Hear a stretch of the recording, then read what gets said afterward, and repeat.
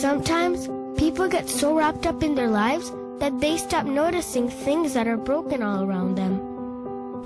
Red Mapache es un emprendimiento que desarrolla juegos y libros interactivos para dispositivos móviles y nació en el 2012 cuando mi hermano Alejandro y yo decidimos que queríamos por un lado democratizar la educación y por otro lado ayudar a los niños a que tuvieran un acercamiento más agradable con la lectura.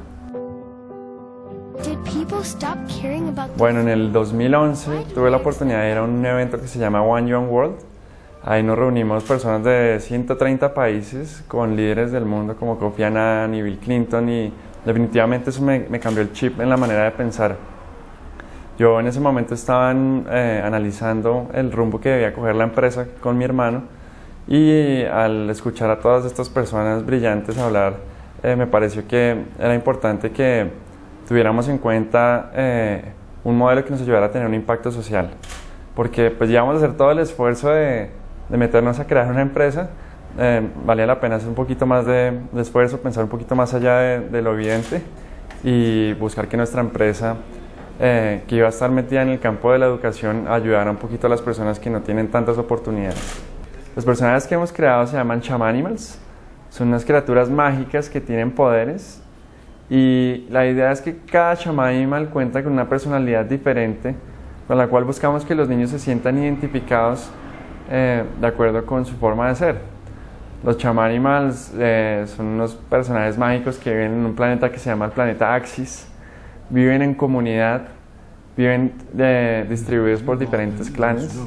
Y la idea de la historia básicamente es que hay un personaje central que es el mapache Mischief, que es el encargado de, guiarlos y de entrenarlos durante su crecimiento espiritual o su crecimiento como, como chamanimals, no como personas, sino como chamanimals.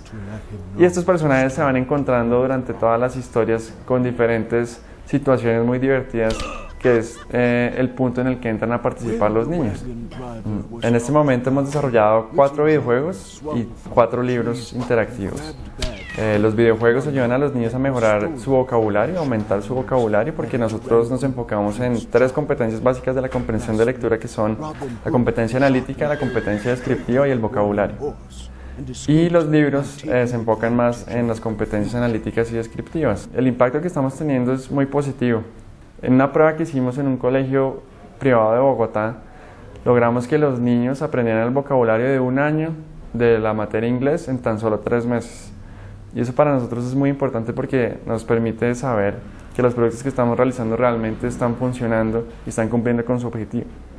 Los videojuegos los pueden descargar desde Google Play y desde el App Store de Apple y los libros los pueden descargar por ahora desde el App Store, pero a partir de julio los van a poder encontrar también desde Google Play. El modelo de negocio de nuestra compañía es muy sencillo. Por el lado de los libros, los papás pueden descargarlos haciendo un pago de 3 dólares. Cada libro cuesta 3 dólares. Y lo que le ofrecemos es, por un lado, el contenido del libro. Le damos acceso a los analytics para que vea cómo ha progresado su hijo. Y adicionalmente le damos lo que llamamos buen karma. Es que por cada producto que vendemos donamos uno a una fundación.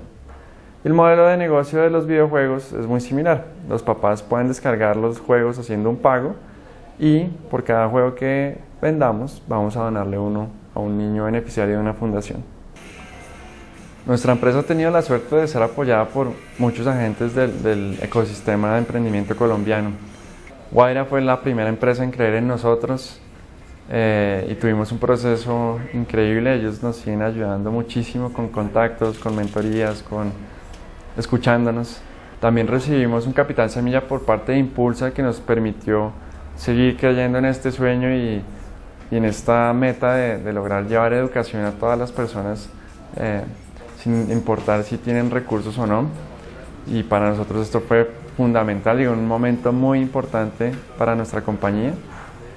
APSCO nos apoyó con una aceleración de Social Atom Ventures, que también de nuevo nos ayudó muchísimo, junto con nuestro, nuestro mentor, que es Alan Colmenares, que nos apoyaba desde el comienzo.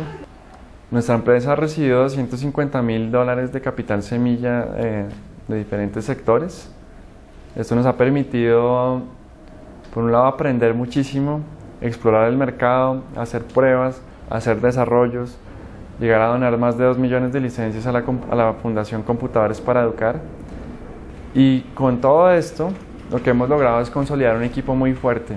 Nuestro equipo de desarrollo es excelente y es eh, de lo que más orgulloso me siento yo de haber logrado con esta empresa. Nuestros procesos se han optimizado y ya logramos desarrollar un libro en tres semanas, un videojuego entre tres y cuatro semanas. Nos gusta mucho que todos aportemos en el proceso de desarrollo, no tenemos un esquema piramidal, todos somos un equipo y lo que hemos logrado ha sido gracias al trabajo colaborativo. Para nosotros es fundamental que nuestros productos realmente sean innovadores desde el punto de vista tecnológico, porque pensamos que la tecnología está ahí para mejorar los procesos educativos. Nosotros como compañía desarrollamos un videojuego hace unos años que se llamaba Doctor Arrogant, que se convirtió en el juego de mayor crecimiento en el mundo en Facebook durante un fin de semana. Tuvimos más de 30.000 usuarios que jugaron durante más de un millón de minutos en más de 50 ciudades. Adicional a esto, los videojuegos con la propiedad intelectual Cham Animals han sido jugados por más de 100.000 niños, beneficiarios de la Fundación Computadores para Educar. Esperemos que este año se cierre con 2 millones de niños que van a estar enganchados con nuestros productos. En este primer semestre hemos desarrollado pruebas con una versión que se llama Chamanimals Fantastic Tales. Y nuestra idea es que en este nuevo semestre que viene vamos a tener una facturación por 250 mil dólares. No solo nos estamos enfocando en la distribución a través del App Store, sino que también estamos conversando con editoriales y con colegios que se pueden interesar por nuestros productos. Eh, pero nuestra idea es que no solamente impactemos a nivel local, sino a nivel internacional. La escalabilidad de nuestros productos es muy sencilla porque simplemente tenemos que cambiar el idioma ya los tenemos en inglés y en español, pero nuestra idea es llevarlos a portugués y francés alrededor del siguiente semestre de este año. Nuestro sueño es que Red Mapache se convierta en el nuevo Plaza Sésamo, una empresa entendida desde la convergencia donde los niños ya no están mirando televisión ni leyendo libros, sino que arrancan desde que son bebés con el iPad. Queremos crear un universo basado en nuestra propiedad intelectual que son los chamanimals, en el cual los niños adquieren productos que realmente les gustan y que adicionalmente les dejan algunas enseñanzas. Podemos enseñarles a leer procesos de matemáticas, de pensamiento lógico. Y nuestra idea es que los niños se enganchen realmente con estos personajes y que creemos todo un universo alrededor de ellos.